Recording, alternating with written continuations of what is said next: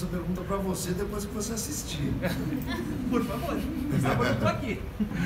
E, na verdade, o que é um palco? O palco é um espaço onde a gente conta uma história. A gente não dividiu o palco em um, dois, três e quatro. A gente trouxe vocês para dentro do nosso universo. Tudo isso aqui é o nosso palco. Se a gente fosse fazer dele um palco italiano, a gente ia começar a arquibancada dali para fora. E vocês iam ter que assistir a gente passeando aqui. Só que e aí vira um. Como, como é tudo muito grande, e aí você começa a ter outras referências daquilo que eu estava falando. Né? Isso aqui deixou de ser um palco e virou uma cidade cenográfica. Onde vocês são parte disso.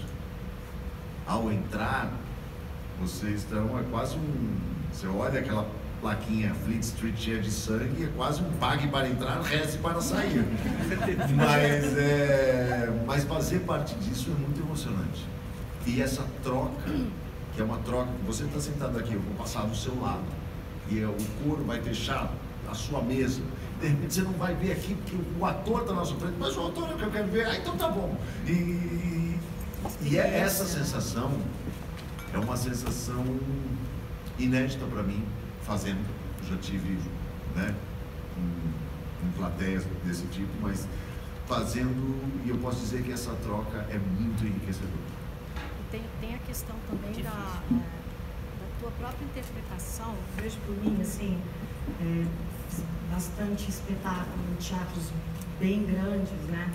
Essa proximidade, essa distância é, te leva para um tipo de interpretação mais expansiva, né? E, e, essa proximidade, ela te possibilita fazer sutilezas, a buscar sutilezas, porque o cara está aqui do teu lado, ele vai perceber a verdade.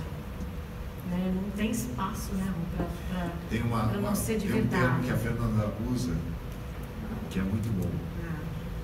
Não precisa exterpretar. Se interpretar já está bom. Não precisa mostrar.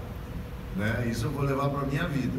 É, né? assim, as pessoas tentam exterpretar, não precisa, interpreta e a gente e a função do público é enxergar tudo isso. É mais desafiador, mas é muito mais prazeroso, né? Tá perto, assim, você vê a reação da pessoa ali. Eu queria aproveitar para falar da experiência também de estar aqui. É, uma experiência. Para o público.